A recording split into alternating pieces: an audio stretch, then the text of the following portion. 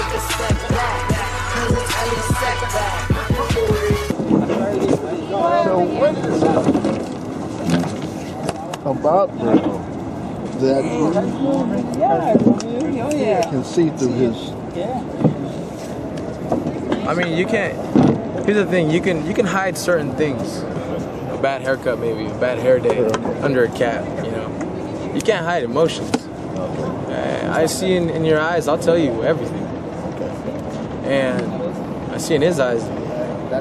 It's kind of yes, no, uh, what the hell am I doing here, type thing. And hey, he's a great fighter, but I know I'm here, you know. And, I would never take away the fact that he's a great fighter. He is. Yes, sir. leading up to this fight. We know that it's going to be a big stage, and uh, here in Los Angeles should be something special. Definitely, you know. Uh, my thing is though, as long as there's a ring, there's gloves, I- I'm comfortable anywhere.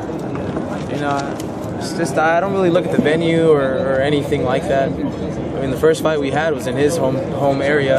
I felt just fine because I mean there was a ring in there, you know, uh, and a mouthpiece, yeah. So that was good. You're going to bring all those kids from uh, Oxnard down here. You know, from Ventura County, all of them. Oh.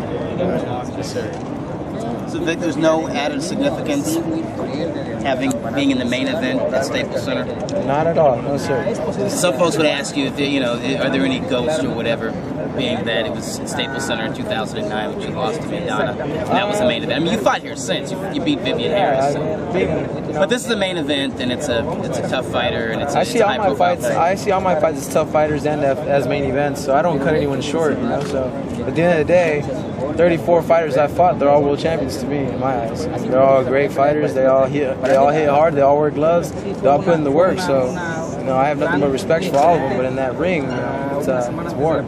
Do you feel? I mean, how much have you grown uh, in those three and a half years? I mean, Well- that was your first main event. You could tell that when you walked out and there was the, the crowd that was there. It was kind of like, you Yeah, yes, could see a little something like, holy crap. Oh, a little That's all for me, yeah. I've definitely grown, but uh, I don't really pay attention to the media stuff, and, nor like the popularity levels of anyone. I mean, I'm just blessed to be here, you know, and I just keep working hard. Do you, do you agree with what uh, Victor and Oscar was saying that you fight best with your back against the ropes? Always have, you know, I always have. I've always been counted out. Uh, I've never been given a chance or an opportunity. I've always just had to take it. So, uh, Victor, Yes, like sir. you said, you dominated the first fight. Are you going to make any changes? Or are you going to? we're definitely have we have some good plans, you know. But I, I'll just listen to coach. Um, so it's gonna be a great fight. Uh, I heard you ran a marathon. Is this part of your pre-training?